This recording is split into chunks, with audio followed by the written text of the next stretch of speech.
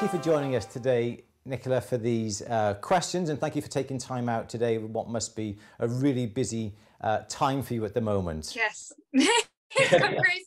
It's absolutely crazy. I bet it has. Um, so, what um, inspired you to take part in All That Glitters? Um, so I was actually forwarded the casting email from a friend who I'd been um, working alongside, another jeweler. Um, and I instantly passed it off. I just I sent it on to other people that were uh, like my eyes better makers. Um, and then a friend of mine, Annie um, Annie McKay Jewelry, she's amazing, so gifted. Um, and she said, "Well, why don't you go for it? I don't want to go on. I don't want to go on television and be filmed, but why don't you go for it?" And I was, I said, "I'm not, I'm not technically able enough to do that. Um, but she said, "What what are you going to lose? They're just going to say no at the worst thing." So I thought about it for a couple of days, and then at eleven o'clock at night, I kind of, on a whim, just thought, "Why not?" And was led in bed and typed it on my phone and sent the application off, and then here we are. That's amazing, isn't it? Amazing. So, so tell me, the the, the three hour limit um, for the first project, the bangles. You know, everybody I think gasped when they said you've got to make these three bangles in three hours. And yeah, that is tough for anybody. So how did you manage to plan to make your bangles, and not just the bangles, but all the items you've made within the time frame that they allow? Yeah, that's really hard for me to answer because I'm not very good at timekeeping in any area of my life. Um, if I manage to be on time for work, then that's like my box is ticked. but um, so with the bangles, I just tried to kind of think how can I gear the finishes to require less time because full on polishing. I mean, you could spend hours polishing. Um, and so I just I tried to tweak the designs so that I know I knew what I was doing for some of them. Uh, like one of them's textured all the way around, which helped with the finishing, and and and so that was kind of a, a shortcut for me.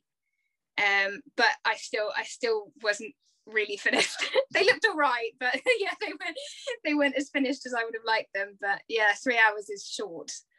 But it was good the fact that you thought about the finish and how long that would take you, and then you could concentrate then on the construction and not having to worry about, well, I've got to spend an hour polishing.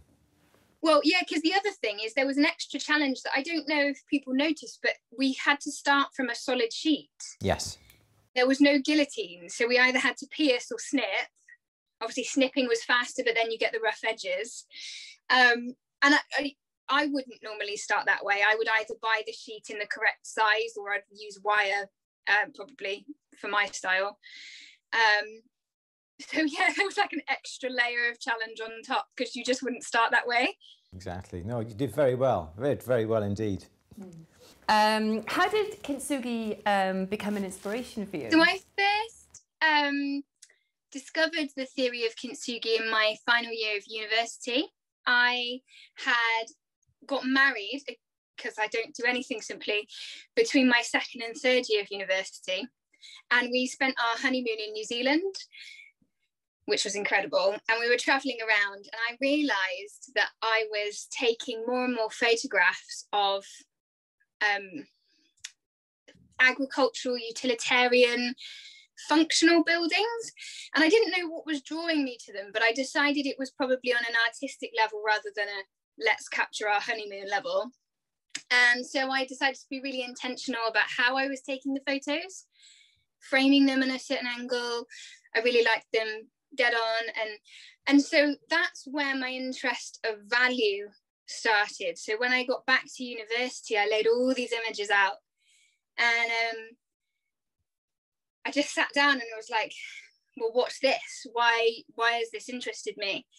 And not only did I really love the form and the shape and the line of architecture, um, but I loved that these spaces were so necessary and so valuable, yet weren't valued. And then we've got like high-end architecture and and I started making stuff in precious metals, which are really valued, but they're not necessary. And it had this contrast, this juxtap- juxtaposition.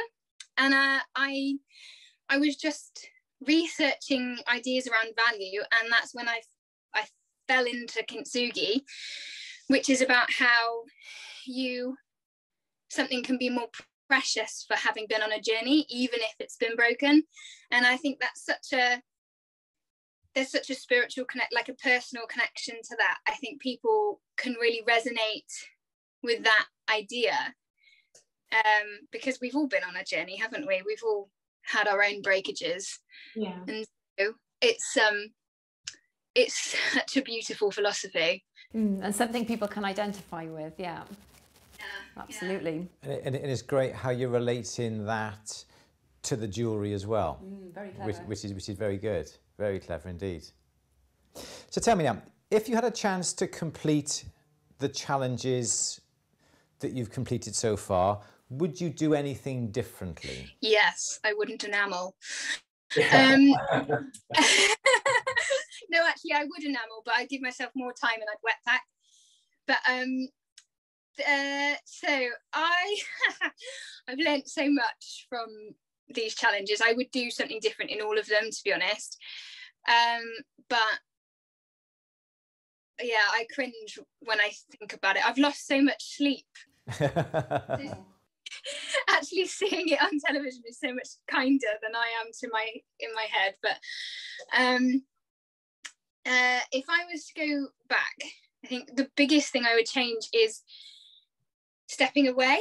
I would give myself more time to breathe and that flow to think, is this the right choice for this piece? What should I?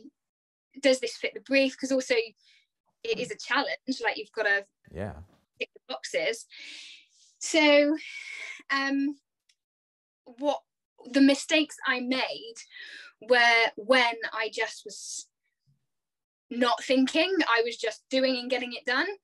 Um, and so, if if I had stepped back, and it would have looked really counterproductive, but I think actually I wouldn't have made mistakes like using uh, it was translucent enamel powder that I accidentally I didn't have a base for it. And you know things that I know I, I know I could have done better but um But in the heat of the moment, you have to get it done, don't you?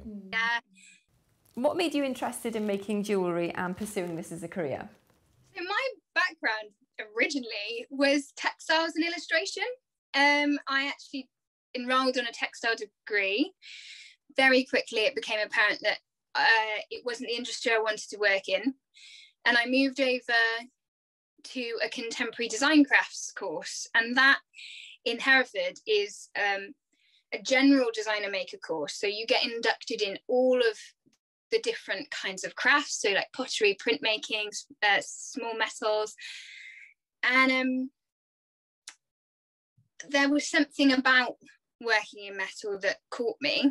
But I have to say, initially, I was still very um, illustrative with it. So I, one of the first things I ever made actually was bird health and safety equipment, which is um, I made like a little aviator goggles and hat for a, a pigeon. it's just you know uh, I, I'd love to see them. um but uh, then I that was so much fun.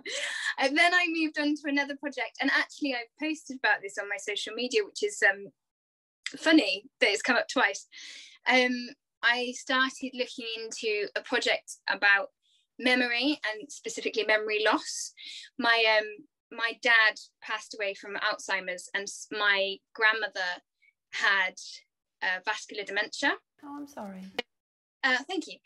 I've had a. It's just been a massive part of my life. My dad was diagnosed when I was 14. Wow. So I guess, in a way, I was using that to process some of the emotion because he, w- he was actually still alive at this point. I was making this project.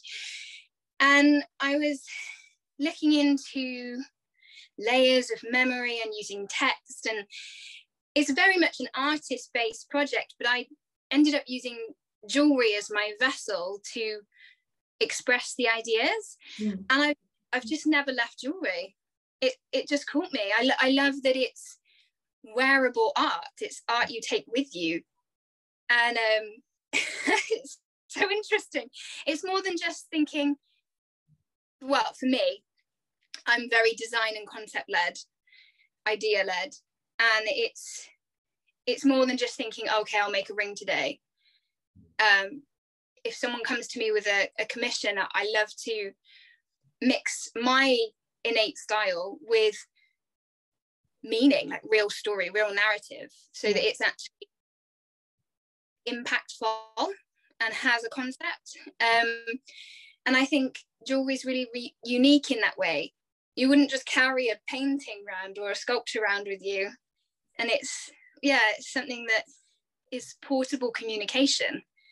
Um it's so it's so so interesting. So as soon as i found um yeah as soon as i found jewelry as a vessel for my ideas i, I haven't looked back. And um i would love i'm not a full-time maker at the moment but i would love to be in the future. So what impact do you think the show will have on the industry as a whole? I'm really hoping that the show um, highlights the industry. Uh, I think this is true for many crafts, but because of mass production and high street brands, the price difference, unless you're someone who values arts and crafts anyway and has that like leaning, you're not necessarily going to understand why the same or a similar product is so much different in price. Um, and hopefully, this exposure will start a conversation with a wider community um, talking about the value of things. I think also it's come at a really interesting time socially because of the pandemic there's been an increase of people wanting to support um, small business or independent business, and also a real stripping back of what is important. Why do I buy? Like, what what am I engaging with when I consume a product? And I, I think as independent makers and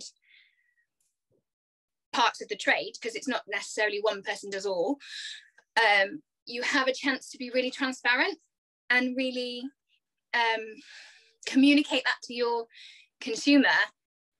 And I think now, had this had this show come out in 2020, or had uh, had the pandemic not happened, I wonder whether there would have been quite such an appetite or an interest. I really do think the pandemic has obviously been awful for so many people and it's been tragic but what it has done is forced us to stop and reevaluate oh, yeah. Um, and i think that that is reflecting in buying trends and um, hopefully hopefully we can use that and it can be highlighted how how much is involved in making and it's not that it's just even a piece, but it's a person. Yeah, I, I, I love the jewelry trade. I really do. I know I'm biased, but. So, in terms of working in an unfamiliar environment, um, what challenges, if any, did you did you find you came up against? Um, so when you're working in your space that you're used to, I think you've got a good, you've got a bit of muscle memory. You know where everything is. Um, my space is tiny, as you can see. Mm-hmm. So everything is pretty much within arm's reach. um, so like driving someone else's car, you know, oh. when you're like oh. trying to shift the gears and and you're like, okay, there's the biting point. Um, yeah, uh, so that took some getting used to, and also one of the biggest things was there was no music, and I listen to music when I make or an audiobook or yeah, I I don't make in silence. So that that was a challenge for me. Um, in terms of tools, I can't really fault the tools that they gave us. They were amazing. Um, that torch was divine. Look, this is what I use, genuinely. So the tools I absolutely loved. Um, I was like a kid in a sweet shop, really. Uh, but yeah, probably the, the no music was the biggest thing. so we're talking of tools. What tool can you not manage without? That's really hard because it depends on what I I'm making. But I probably would say the tool I use the most, and it's really simple, are my parallel pliers. But because I do a lot of angular work, a lot of linear work with straight straight lines, because they're parallel, I don't get that marking from from normal pliers. Yeah. So yeah, I always have these to hand. Um, so I think that's probably my favourite. Which technique would you most like to be asked to demonstrate, and what would be the one that you would least like to be asked to demonstrate? Mm, so I am actually a silversmithing tutor at the local art college, and when I teach them soldering, I love it, which is funny because soldering can be quite a lot of pressure. You don't want to melt things, but I love trying to get my students to visualize the science behind it and the heat flow because the solder won't run to the right places if the heat is unbalanced. And so I always talk about building our, like thinking about heat bouncing back like a mirror and where you place your piece on the block, how well is it supported? And, and so I find the technique of soldering really really calming to explain to my students. And the same with annealing, actually, talking about the molecules. And I, I love to teach. So, yeah, I think that, I think soldering. So, what's your worst technique then? Stone setting. I'm not a setter. I, I, I do bezels and si- simple settings, but I, it's something I would really love to to improve on. I'm very very new at um, at stone setting. Yeah. So you work primarily in silver, but what materials would you like and most want to work with? So I work mainly in silver, but my favourite material to work with is gold, yellow gold. I just think it's so polite. But that's, that's the way it was introduced to me as my my jewelry tutor at uni was just said, "Oh, it's so polite," and I didn't really know what she meant until I worked with it. And I was like, I swear it's got some sort of connection to my brain. My it just goes where I want it to go. And I I love I love yellow gold. It's so buttery and rich. And when it's polished up or even matted back, it's just beautiful. Yeah. Um, so what was your favourite moment on the show? I really loved the breaks. They um the, bits we would let off steam, but in terms of in front of the camera, I liked, um, especially by the second episode. I think the first episode everyone was a bit nervous, but um, there was more of a friendship on the floor, and um, it didn't get shown actually. But at one point, Sunny was crossing the room when I was, and he was about to polish his chain, and he was like, "Does anyone have any goggles?" And I was wearing them on my head, so I just like whipped them off and passed them on and we were chatting at the rolling mill a bit more and and that was that was yeah that was really lovely um and there was also a sense of relief when you get something on the plinth or the or the stand even if you're not particularly happy with it at least there is some sort of sense of crossing the finish line um and and that was that was a real sense of achievement in a way yeah there's been lots of talk recently in the Facebook groups regarding Shaun and Solange. They seem stern. Do you think that's a fair appraisal? Obviously, we've got to realise that the workshops are potentially dangerous places. But what are they like in real life? They are actually really personable. Um, I think it's worth remembering that they are makers and designers for Solange at the top of their game, like absolute top of their field. And and not TV personalities as well, um, necessarily. um, but also, they really know what they're on about. So when they make a criticism, it I don't think there's a personal element in there. Not really. I think they are just coming from a place of such experience that it it's purely professional, mm. constructive criticism. Uh, but that's a difficult thing with with art. I think it's worth thinking about how you would appraise someone without taking into account your personal taste and a personality. And I think that must be really difficult to be a judge and remove those things. And so that is possibly what people are seeing. But off off screen, they are they are lovely. So one thing we get asked a lot by aspiring jewelers um, is where do you start? If you want to forge a career in jewellery making or metal smithing. There's so many routes, but so what would be your advice? It's really interesting. So it totally depends on where you that person's interest is. So are they a technical person and they want to be led by technique and skill? Um, or do they want to be led by design and ideas and concepts because they're two different starting points. Not that they don't interlink, but if you have huge amounts of technical skill, sometimes that can be not limiting, but a, can be a hurdle to pass through for design because you're instantly thinking of the things that go wrong yeah. or that inhibit those ideas. Um, so it, it really depends. So if you're a design person, I would really say find your source inspiration, um, think about it, get excited about it, draw it, whatever works for you as a creative. Develop these ideas and think, how does that make sense then as a piece of jewelry? And then sample and try but then you have to figure out the technical side. So it's quite it's a funny way into it but then you end up knowing yourself as an artist and a maker.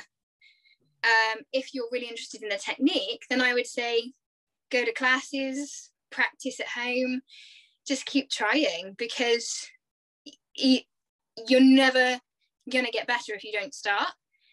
Um, and there's so much information on the internet, your videos, for example, to to self teach, and then you can go to a local arts college or something for a course if you if you can afford it, and um and build your technique up there.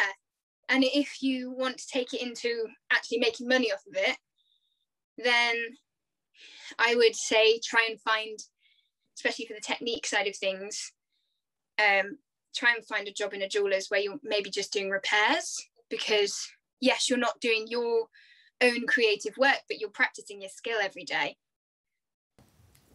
Uh, okay so the future. Uh, can you imagine focusing on one particular area of jewelry? Um, and do you think the show has changed your direction in any way? I would love to go and do my master's. So I've got a BA honours in contemporary design. I want to get a master's degree because eventually I would love to be a tutor at HE level. Um, but what I really believe is that the best tutors have life experience. And so, first, I want to have a business. Um, where the master's fits in, I'm, I'm not entirely sure, but um, I I very much see myself as an artist jeweler um, I love, as we've discussed, I love concept, I love narrative, I love knowing why I'm making a piece. Um, and so I would love to do exhibitions and and commissions for people that are really interested in engaging in me as a maker and an artist and and their story and, and making something really cool. I think in terms of the show, it's given me exposure. I've never been so busy um, it, which I've been I'm so grateful for because it's not been a very long that people have been buying my work because they like my style. And this show has just it, it skyrocketed the attention uh, which has been so humbling and so exciting. And i am a little bit gutted that i'm gonna have to take a, a break to to have a baby but i know that's going to be so exciting in its own right. So thank you so much for taking time today just to, to answer our questions. They have been absolutely brilliant. Really really good. Yeah, really, really good really good. yeah, thank you so much. Thank you so much indeed. You're very welcome. So much fun. And don't forget you can watch bbc Two's all that glitters. It airs on tuesday 8 p.m and alternatively you can watch it on iplayer